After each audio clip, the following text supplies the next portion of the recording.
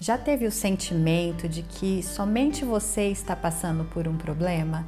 Você olha para os lados e parece que todo mundo está feliz e só você está sofrendo? Tem olhado nas mídias sociais e só vê posts de pessoas tendo uma vida perfeita enquanto sua vida parece ser totalmente sem sentido? É sobre esse sentimento de achar que a grama do vizinho sempre está mais verde do que a sua que falaremos no Chá e Terapia de hoje.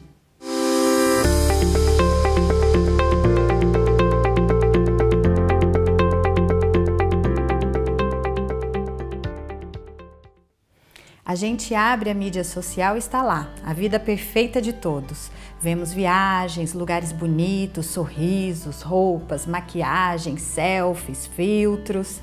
Todo esse contexto acaba criando uma ilusão de que todos têm uma vida perfeita e acabamos comparando essa ilusão com a nossa própria vida.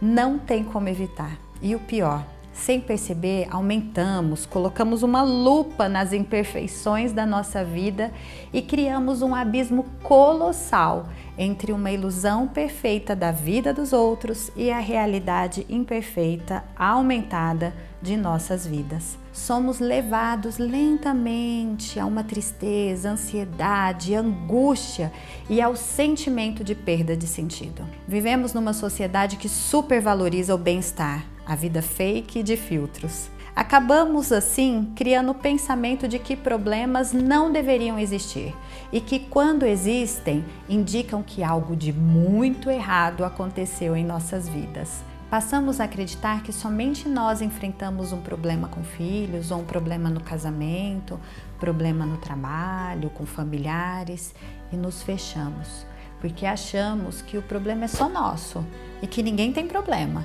e que por isso algo de muito errado está acontecendo conosco e que precisa ser escondido e guardado cada vez mais. Algumas vezes até tentamos nos abrir com alguém, mas logo somos punidos, porque numa sociedade que não foi educada a lidar com problemas, ninguém consegue ouvir o problema do outro sem sentir uma cutucada nos seus próprios problemas, que estavam ali escondidinhos atrás do armário. E isso dói. E não queremos essa dor também, porque não sabemos como reagir. Então arrumamos um jeitinho para não ouvir o problema dos outros também. Mais grave o que eu vou lhe dizer. Todos nós enfrentamos problemas e desafios. Todos!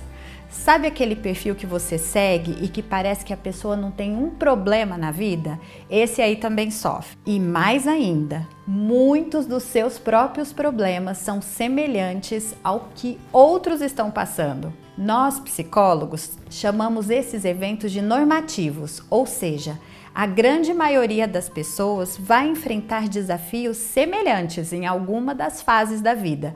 Por exemplo, adaptação no casamento, chegada de filhos, entrada na adolescência, problemas no trabalho, no casamento, ter um doente na família e por aí vai. E como não sofrer com o pensamento de que todos são felizes menos eu? Mudando o pensamento.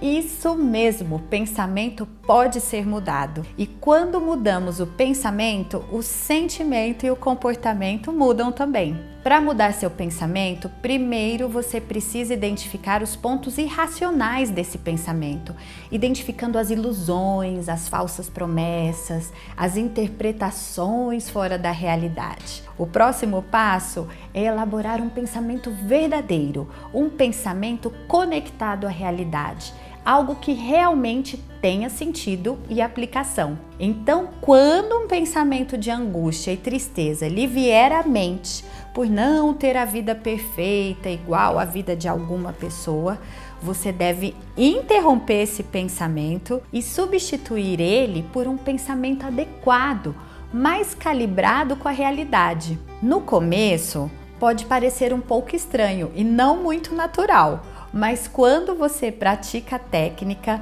o pensamento disfuncional vai perdendo a força e deixa de existir, e o pensamento mais funcional entra no lugar, e seus sentimentos certamente mudarão também.